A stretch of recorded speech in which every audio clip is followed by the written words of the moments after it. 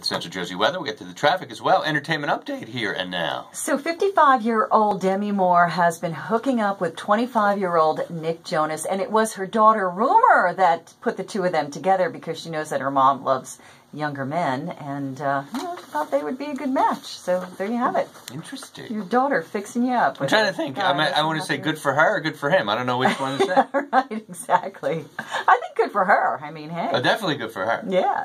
And uh, Julia Roberts was visited uh, by a spirit on her new film. She was doing this take by tombstones, and then she felt something or someone just shove her, and then she looked around, and not a soul in sight. Or was there? Hmm. And if you're tuning in to Sunday's Golden Globes, you are going to be seeing a lot of actresses, mainly uh, all of them, wearing black. That's all part of their anti harassment protest. And that is today's entertainment update. Central Jersey.